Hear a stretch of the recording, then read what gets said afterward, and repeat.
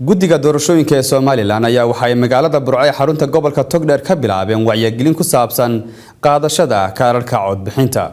Sida uu halkaasi warbixinta nooga soo diray wariyahayaga maxamed siciid gaxnuug komishinka doorashooyinka qaranka somalilan ayaa maanta ka bilaabay magaalada burco ee xarunta gobolka togdheer. Wacyigelin ku saabsan sidii bulshada gobolka togdheer u qaadan lahayd kaadharhka codbixiyayaasha oo dhowaan lagu wado inay ka bilaabanto gobolka togdheer. Xubno ka mida komishinka doorashooyinka iyo ururada qaatay wacyigelinta ayaa si isku mid a u sharaxay wacyigelinta sida ay u samayn doonaan sidoo kale waxaa halkaasi ka hadlay cuqaasha iyo guddiyada xaafadaha ee magaalada burco kuwaasoo dhankoodana ka hadlay sidii ay wacyigelin lahaayeen. Bulshada gobolka togdheer islamarkaana ku baraarujiyey inay qaataan kaadhka codbixiyaha.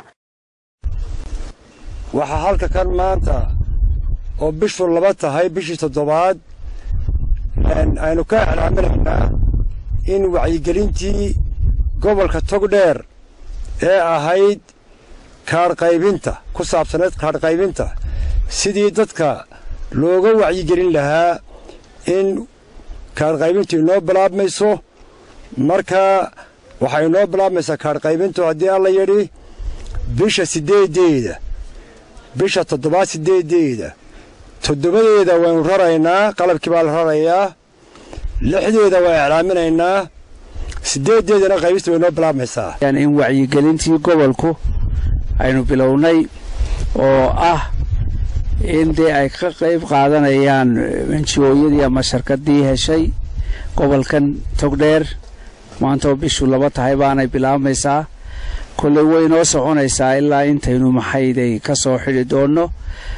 Waxaanay u socon doontaa qaybo.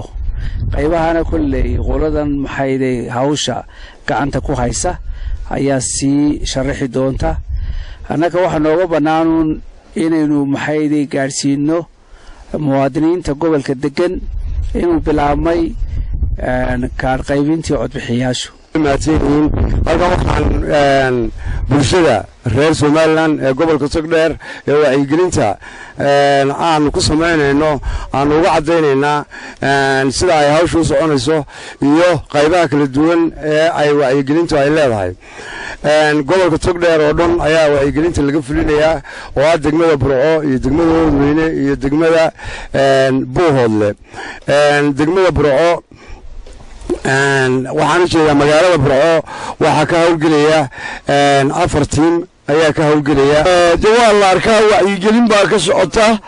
Wacyigelintii sidii loo qaadan lahaa kaarhka ayaa socota. Komishirkii waa kaasoo annaga hawshii haddaan uqaasha iyo dadweynaha wanahay de waa nagu wareejay dadweynaha gobolka togdheer.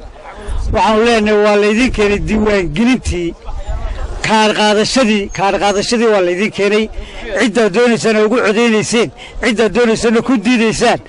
Waa laydin keenay waa laynoo keenay. Waxaannu idiin soo jeedina annagoo cuqaashii ah inaad qaadataan kaadhka diiwaangelinta. Waa xafladdii komishinka qaranku ay kaga codsanayeen dadweynaha in la qaato kaadhka codbixinta ee aynu horena maxay ahaytay uga qayb gallay ee la geliyey jundiga badan ee aynu hore uga soo shaqaynay hawshii baa maanta midhaheedii iyo hawshii badnaydee la qabtay gebagabadeedii baa maanta halkan jooga. Maxamed siciid gaxnug telefishinka caalamiga r t n magaalada burco